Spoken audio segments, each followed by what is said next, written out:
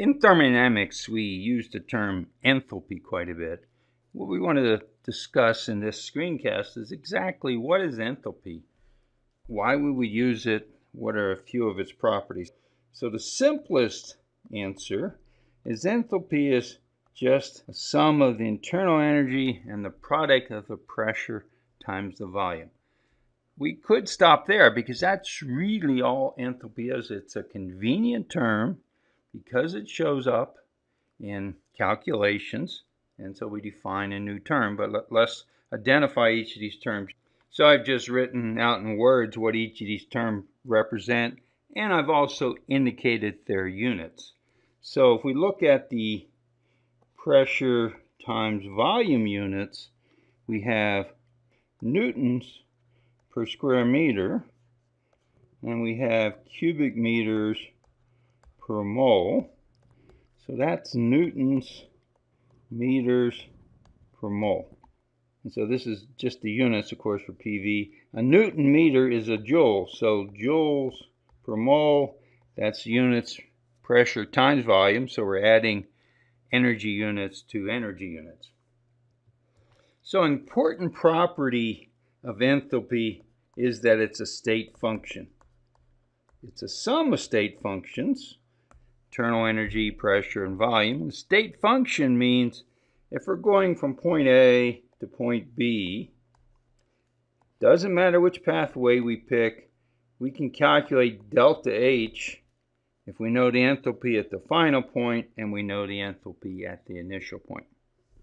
If we were to look at to see how enthalpy might arise in, for example, applying the first law, let's look at the first law for a closed system.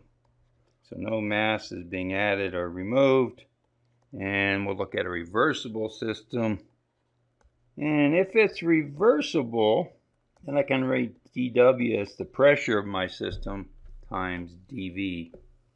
And so I'm just going to rearrange this slightly. PdV equals dQ. So now let's put an additional restriction on this system, namely constant pressure.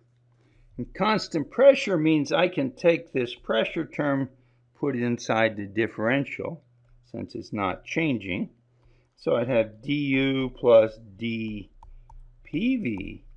equals dq. But u plus pv is h, so dh equals dq. Remember, restriction is this was constant pressure. So in a constant pressure system, the heat transfer is equal to dH for a closed system. So this might be one reason why we'd want to use enthalpy in calculations. Let's look at some other properties. So let's look at an ideal gas. So again, I'll look at my definition in differential form, du plus dPV. And now I'm going to take advantage of the ideal gas law. PV equals RT, where remember, this is volume per mole. In addition ideal gas law, I'm going to write so dH now for du for an ideal gas, du is CV dt in the ideal gas. And the dPV term is dRT. And of course, R is a constant, so I can write it as r dt. So CV plus R dt, that's dH. But dH is also CP dt. So that means Cp for an ideal gas is Cv plus R. Heat capacity, constant pressure is the heat capacity, constant volume, plus the gas constant. Important to remember for an ideal gas that enthalpy and internal energy only depend on temperature. They don't depend on pressure. The other instance where enthalpy shows up is if we have a flow system. And so imagine we're flowing some packet of gas or liquid. It has some internal energy coming in. And now to push this gas through the system, we do work on it. We do PV in is energy it takes to move it through. So you could look at the total energy And of course, similar terms for leaving the system.